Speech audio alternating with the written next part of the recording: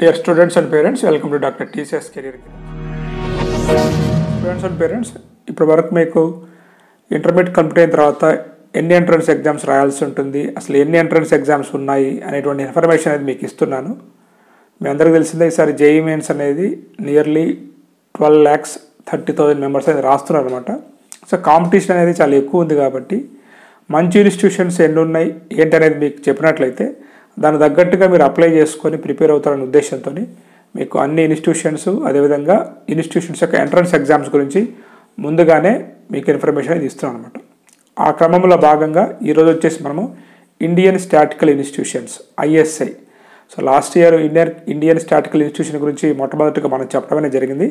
So చాలామంది parents students so ఆ వీడియోని చూసి కూడా చాలామంది అప్లై చేశారు. కొంతమంది అక్కడ చదువుతున్నారు అనమాట సో ఆ క్రమంలో ఏదైతే ఐఎస్ఏ ఎగ్జామ్ ట్వంటీ ట్వంటీ ఫోర్లో జరగబోతుందో సో ఆ ఎగ్జామ్ యొక్క ప్యాటర్న్ ఎలా ఉంటుంది సిలబస్ ఏంటి ఎలిజిబిలిటీ క్రైటీరియా ఏంటి ఇక్కడ ప్యాకేజ్ అనేది ఎలా ఉంటుంది అసలు మీరు ఐఎస్ఏ ఎందుకు రాయాలి అనేటువంటి అన్ని విషయాలు కూడా ఈ వీడియోలో నేను డిస్కస్ చేస్తాను.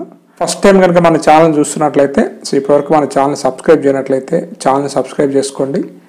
అదేవిధంగా నేను చేస్తున్న వీడియోస్ మీకు నచ్చినట్లయితే ఒక లైక్ చేసి మీ ఫ్రెండ్స్ అందరికి షేర్ చేయండి.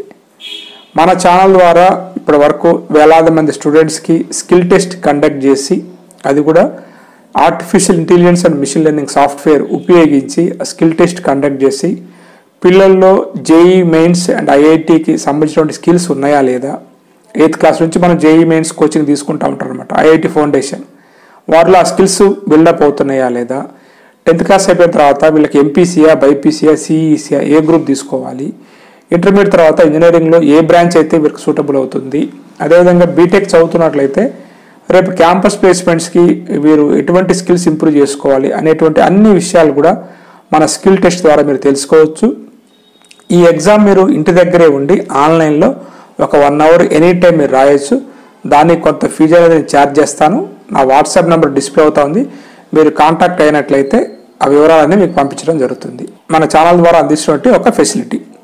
రెండోది వచ్చేసి మీలో చాలామంది చాలా యూనివర్సిటీస్ ఎగ్జామ్ రాయబోతున్నారు. జేఈ మెయిన్స్ కావచ్చు సియూఈటీ కావచ్చు ఎంసెట్ అదేవిధంగా all deemed university entrance exams వాటికి సంబంధించినటువంటి కెరియర్ గైడెన్స్ అంటే అడ్మిషన్ కౌన్సిలింగ్ గైడెన్స్ మీరు అడ్మిషన్ తీసుకునేంత వరకు మీకు నా సలహాలు సూచనలు కావాలన్నా కానీ ఆ ఫెసిలిటీ కూడా మన ఛానల్ ద్వారా మీకు అందిస్తున్నాను.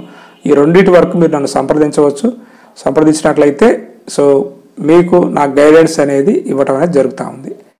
ఇక మనకి వీడియోలోకి వెళ్ళినట్లయితే సో ఇండియన్ స్టాటికల్ ఇన్స్టిట్యూషన్స్ అనేవి మనకి ఇండియాలో ఉన్నాయన్నమాట.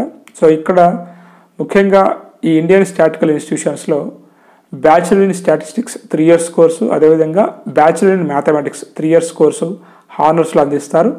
దాంతోపాటు మనకి ఎంటెక్ ఇన్ కంప్యూటర్ సైన్స్లో కూడా ఇక్కడ మనకి అందిస్తారనమాట ఎలిజిబిలిటీ క్రైటీరియా గురించి మాట్లాడుకున్నట్లయితే ఇక్కడ మీరు స్టాటిస్టిక్స్లో కానీ మ్యాథమెటిక్స్లో కానీ జాయిన్ కావాలనుకున్నట్లయితే మీరు ఇంటర్మీడియట్లో టెన్ ప్లస్ టూ కంప్లీట్ కావాల్సి ఉంటుంది. మీరు మ్యాథ్స్ కానీ స్టాటిస్టిక్స్ కానీ తీసుకోవాలనుకున్నట్లయితే పర్సంటేజ్ అని మాత్రం ఇక్కడ ఎటువంటి క్రైటీరియా లేదు. ఏజ్ లిమిట్ అనేది కూడా లేదనమాట. సో మ్యాథమెటిక్స్ అండ్ ఇంగ్లీష్ అనేది మాత్రం మీరు ఖచ్చితంగా మీరు తీసుకొని ఉండాల్సి ఉంటుంది అనమాట ఇది మీ యొక్క మినిమం ఎలిజిబిలిటీ క్రైటీరియా మరి ఎన్ని కాలేజెస్ ఉన్నాయి అనుకున్నట్లయితే మీరు ఇక్కడ డిస్ప్లే అవుతూనే ఉంటుంది మీకు. సో మనకి ఇక్కడ కోల్కతా అనేది హెడ్ ఆఫీస్ అనమాట సో ఇక్కడ మెయిన్ ఇన్స్టిట్యూషన్ అనేది Indian statistical institute ISA Kolkata ఉంటుందన్నమాట. సో న్యూఢిల్లీలో బెంగళూరులో ముంబైలో ఉంది పూణేలో ఉంది వడోదర చెన్నై హైదరాబాద్ కోయంబత్తూరులో ఇట్లా అన్ని చోట్ల కూడా మనకి ఇన్స్టిట్యూషన్స్ అనేవి ఉన్నాయి. బట్ మనం అనుకున్నటువంటి bachelor in mathematics and bachelor in statistics అనేది మాత్రం ఒకటి కోల్కతాలో ఉంది ఒకటి బెంగళూరులో ఉందన్నమాట. సో మన టార్గెట్ వచ్చేసి ఈ రెండు కాజీలు అయి ఉండాలి. సో అయితే ఇక్కడ మీరు మీకు ఈ ప్రోగ్రామ్ అని చెప్పే కదా. సో అయితే bachelor in statistics honours three years programme అనేది మాత్రము కోల్కతాలో ఉంది. Bachelor in mathematics honours three years programme అనేది బెంగళూరులో ఉందన్నమాట.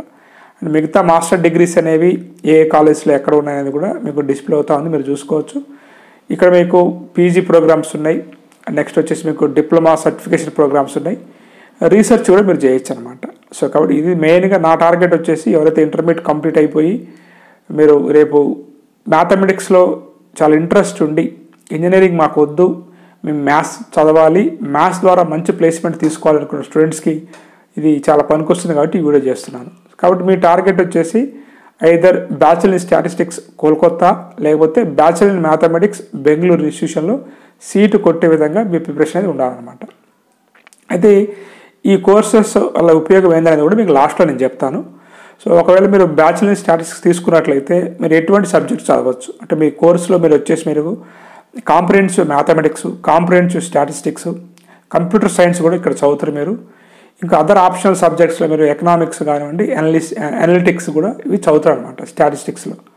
అదేవిధంగా ఒకవేళ మీరు బ్యాచిలర్ మ్యాథమెటిక్స్ చదివారనుకోండి ఈ కోర్సులో కూడా మీకు స్టాటిస్టిక్స్ గురించి చదువుతారు probability comprehensive mathematics computing and physics and economics and analytics అనేటువంటి సబ్జెక్ట్స్ కూడా ఇక్కడ చదువుతారు అనమాట అంటే దాదాపు ఇది మీకు కంప్యూటర్ సైన్స్కి రిలేటెడ్గా ఉన్నటువంటి సబ్జెక్ట్స్ అని చెప్పుకోవచ్చు. ఇక ఎంట్రన్స్ ఎగ్జామ్ గురించి మనం మాట్లాడుకున్నట్లయితే ఇక్కడ మీకు ఎంట్రన్స్ ఎగ్జామ్ అనేది ఒక ఫస్ట్ షిఫ్ట్ మార్నింగ్ ఉంటుంది సెకండ్ షిఫ్ట్ ఈవినింగ్ ఉంటుంది. క్వశ్చన్స్ అనేవి మొత్తం మీకు మల్టిపుల్ చాయిస్ క్వశ్చన్స్ ఉంటాయి టోటల్ మార్నింగ్ షిఫ్ట్లో మీకు థర్టీ క్వశ్చన్స్ ఉంటాయి టోటల్ వన్ ట్వంటీ మార్క్స్కి ఉంటుంది అనమాట సబ్జెక్ట్స్ వచ్చేసి మ్యాథ్స్ మీదనే ఉంటుంది మీకు మొత్తం కూడా. సో నెగిటివ్ మార్కింగ్ అనేది ఉంటుంది ఎగ్జామ్ డ్యూరేషన్ టూ అవర్స్ ఉంటుంది. ఈవినింగ్ షిఫ్ట్స్ మీరు తీసుకున్నట్లయితే second shift total questions eight ఉంటాయి. సో టోటల్ మార్క్స్ ఎయిటీ ఇది వచ్చేసి మీకు మీరు ప్రాబ్లమ్స్ ఇస్తే సాల్వ్ చేయాల్సి ఉంటుంది అనమాట మ్యాథమెటిక్స్ ఉంటుంది నెగిటివ్ మార్కింగ్ అనేది ఉండదు. ఎగ్జామ్ డ్యూరేషన్ కూడా టూ అవర్స్ ఉంటుంది. ఎవరైతే స్టూడెంట్స్ మ్యాథ్స్లో చాలా జమ్ అయి ఉన్నటువంటి స్టూడెంట్స్ మాత్రమే ఈ యొక్క ఇన్స్టిట్యూషన్ గురించి ఆలోచించాల్సి ఉంటుంది. ఓకే అండ్ ఈ రెండు ఎగ్జామ్స్ అయిపోయిన తర్వాత మీకు మంచి స్కోర్ వచ్చినట్లయితే ఇంటర్వ్యూ కూడా ఉంటుందన్నమాట. ఆ ఇంటర్వ్యూ స్కోర్ని అన్నిటిని తీసుకొని మీ యొక్క సెలక్షన్ ప్రాసెస్ అనేది ఈ ఇన్స్టిట్యూషన్లో జరుగుతూ ఉంటుంది. జనరల్ కట్ ఆఫ్ అనేది ఇంటర్వ్యూ కాకుండా జస్ట్ మీకు written written test cut off కనుక మీరు తీసుకున్నట్లయితే జనరల్ స్టాటిస్టిక్స్ తీసుకోండి మీరు.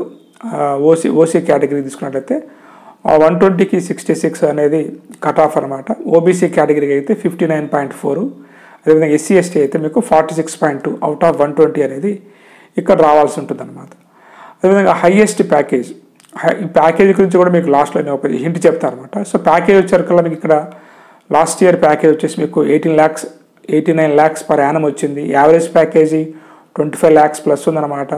మీడియం ప్యాకేజ్ తీసుకున్నా కానీ twenty three point two lakh per annum ఉంది. మరి ఇక్కడ ఫీజు ఏమైనా ఉందా అంటే నామమాత్రం ఫీజు ఉంటుంది. ఒక ఎయిట్ థౌజండ్ లోపు అది కూడా మీకు హాస్టల్ ఫీజు లేకపోతే మీకు ఇక బుక్స్ అని ఇంకా చిన్న చిన్న ఫీజు అనేవి ఉంటాయి. ఒక విధంగా మీకు జీరో ఫీజు అని చెప్పుకోవచ్చు. మీకే ఒక ఫైవ్ థౌజండ్ పర్ మంత్ ఇచ్చి ఇక్కడ చదివిస్తారనమాట అయితే ఎవరైతే ఇండియన్ నేషనల్ మ్యాథమెటిక్స్ ఒలింపియాడ్ ఎగ్జామ్లో టాపర్ అయి ఉంటారో సో వారికి మాత్రం ఎటువంటి ఎగ్జామ్ లేదు. వారి యొక్క స్కోర్ ద్వారా ఇక్కడ అడ్మిషన్ అనేది ఇవ్వటం అనేది జరుగుతుంది. ఇది మన ఇన్స్టిట్యూషన్లో ఉన్నటువంటి కట్ ఆఫ్ గురించి. మీకు చెప్పే కదా ప్లేస్మెంట్ అనేది వారి యొక్క వెబ్సైట్ నుంచి నేను తీసుకున్నటువంటి ఫోటో ఇక్కడ మీరు చూడొచ్చు. Eighteen lakhs per annum higher package అనమాట యావరేజ్ ప్యాకేజ్ వచ్చేసి twenty five point five LPA వచ్చింది. ఇక్కడ వస్తున్నటువంటి కంపెనీస్ కూడా మీరు చూసుకోవచ్చు. ఈ కంపెనీస్లో ఇక్కడ మీరు తీసుకున్నట్టు వాటి background IT services engineering services database administration services analytics consultant software development ఇట్లా డిఫరెంట్ కంపెనీస్ అనేవి కూడా ఈ యొక్క ఇన్స్టిట్యూషన్స్ని విజిట్ చేయడం జరుగుతుంది. అంటే ఒక విధంగా సాఫ్ట్వేర్ జాబ్సే అనుకోవచ్చు అనమాట ఇక్కడ కూడా మీకు ఇచ్చాను. ఇండస్ట్రీ ఆ డొమైన్ ఎట్లా స్ప్లిట్ అయి ఉంటుందని చెప్పేసి. సో ఈ వీడియోలో కూడా ఇక్కడ ఈ స్లైడ్లో కూడా మీరు చూసుకోవచ్చు అనమాట హెల్త్ కేర్ కన్సల్టెన్సీ ఉంది ట్రేడింగ్ కంపెనీస్ ఉన్నాయి. So e commerce and digital services ఉన్నాయన్నమాట బిఎఫ్ఎస్ఐ కంపెనీస్ ఉన్నాయి. ప్రొడక్ట్ బేస్డ్ కంపెనీస్ ఉన్నాయి. సో ఇట్లా ఈ అన్ని కంపెనీస్ అనేవి ఇక్కడ ప్లేస్మెంట్స్ని కండక్ట్ చేస్తాయి అన్నమాట. అయితే మీకు ఇక్కడ సీట్ మ్యాట్రిక్స్ తీసుకున్నట్లయితే స్పెషల్గా బ్యాచులర్ ఇన్ స్టాటిస్టిక్స్ మ్యాథమెటిక్స్లో సీట్ మ్యాట్రిక్స్ తీసుకున్నట్లయితే సిక్స్టీ త్రీ సీట్స్ ఉంటాయన్నమాట. సో టోటల్ సిక్స్టీ త్రీ కాకుండా గర్ల్స్ స్టూడెంట్స్కి ఒక సూపర్ నూమరీ కింద ఒక సిక్స్టీన్ అంటే పదహారు సీట్ల ఎక్స్ట్రా ఉంటుంది. ఇక్కడ మీకు కేటగిరీ వైజ్ ఇచ్చారన్నమాట. జనరల్ ఓబీసీ ఎస్సీ ఎస్టీ కేటగిరీకి ఈడబ్ల్యూఎస్ కేటగిరీకి అండ్ పీడబ్ల్యూటీ కేటగిరీకి ఎన్ని సీట్స్ అనేవి ఉంటాయనేది కూడా మీకు ఇచ్చారన్నమాట. ఇది బ్యాచులర్లు మిగతా ఎంటెక్ ఎవరన్నా ఈ వీడియో చూస్తున్న వాళ్ళలో ఎవరైనా బీటెక్ చదువుతున్నట్లయితే మీరు ఇక్కడ ఎంటెక్ కోర్స్ కూడా చేయొచ్చు. వాటికి సంబంధించిన సీట్స్ కూడా ఇక్కడ ఇవ్వడం అనేది జరిగింది. ఓకే? అంటే ఇక్కడ సిలబస్ ఏముంటుంది అనుకున్నట్లయితే సో ప్యూర్లీ మ్యాథమెటిక్స్ సిలబస్ ఉంటుంది. స్టాటిస్టిక్స్ అయినా మ్యాథమెటిక్స్ అయినా ఆల్జీబ్రా జామెట్రీ ట్రిగ్నామెట్రీ అంటే క్యాలిక్యులస్ ఇవి ఉంటాయి అనమాట వీటిలో ఇన్డెప్త్గా మీకు ఇంకా మీకు నోటిఫికేషన్ అనేది వచ్చినప్పుడు మీకు అక్కడ ఇంకా ఇన్డెప్త్గా సిలబస్ అనేది ఇవ్వడం అనేది జరుగుతుంది. నెక్స్ట్ వచ్చేసి మనకి ఈ యొక్క ఎప్పుడు రావచ్చు? డేట్ అనేది ఎప్పుడు రావచ్చు అంటే లాస్ట్ ఇయర్ కనుక మీరు తీసుకున్నట్లయితే లెవెన్త్ మార్చిన మనకు వచ్చింది. సో టె టెన్త్ ఏప్రిల్ వరకు మీరు అప్లికేషన్ పెట్టుకోవచ్చు. లాస్ట్ ఇయర్ పెట్టుకోవడం జరిగింది. ఎగ్జామ్ డేట్ వచ్చేసి మనకి ఫోర్టీన్త్ మే ఉందన్నమాట. ఇంటర్వ్యూస్ అనేవి కూడా మీకు నైన్టీన్త్ జూన్ నుంచి సెవెంత్ జూలై వరకు జరిగాయి అనమాట అంటే మోస్ట్లీ ఇయర్ కూడా మీకు సెకండ్ వీక్ ఆఫ్ మార్చ్ మీకు నోటిఫికేషన్ రిలీజ్ అవుతుంది. అది మీకు ఫస్ట్ వీక్ ఆఫ్ ఏప్రిల్ వరకు టైం ఇస్తారు. ఎగ్జామ్ అనేది కూడా మీకు మేలో ఉంటుందన్నమాట. మిడిల్ మేలో ఉంటుంది కాబట్టి మీరు అన్నిటికీ ప్రిపేర్ అయి ఉండాల్సి ఉంటుంది. సో ముఖ్యంగా మీరు ఎవరైనా కానీ ఇక్కడ ఈ కాలేజ్లో జాయిన్ అయిన తర్వాత మీరు బ్యాచులర్ ఇన్ స్టాటిస్టిక్స్తో ఆగిపోకుండా మీరు ఎంటెక్ కావచ్చు లేకపోతే masters in statistics masters in mathematics ఇంకా అదర్ డిఫరెంట్ కోర్సెస్ చేసినట్లయితే మీకు ఏదైతే మనం చెప్పామో ఆ ప్యాకేజ్ అనేది మాత్రం వస్తుంది అనమాట ఎందుకంటే త్రీ ఇయర్స్ డిగ్రీ ప్రోగ్రామ్స్తో అంత ప్యాకేజ్ రాదు.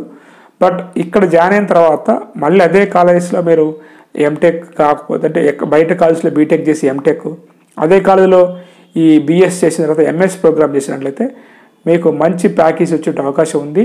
అదేవిధంగా మీకు ఫీజు అనేది లేదనమాట. ఒక విధంగా నన్ను అడిగితే జీరో ఫీజు అని చెప్పుకోవచ్చు. అంటే ఎటువంటి ఫీజు కట్టకుండా ఇలాంటి ప్రెస్టీజ్ ఇన్స్టిట్యూషన్లో మీరు చదివినట్లయితే మీ లైఫ్ బాగుంటుంది కాబట్టి స్టూడెంట్స్ ఎవరికి ఎకనామికల్ ప్రాబ్లమ్స్ ఉన్నా ఉండి మ్యాథమెటిక్స్లో అంటే ప్రాబ్లం ఎకనామికల్ ప్రాబ్లమ్స్ ఉండి మ్యాథమెటిక్స్లో మీరు చాలా మంచి స్టూడెంట్ అయినట్లయితే ఖచ్చితంగా ఇటువంటి ఇన్స్టిట్యూషన్ మీరు ఎగ్జామ్స్ రాయండి. ఇటువంటి ఇన్స్టిట్యూషన్లో జాయిన్ అయిపోయి మీ యొక్క కెరియర్ని మంచిగా ప్లాన్ చేసుకోండి.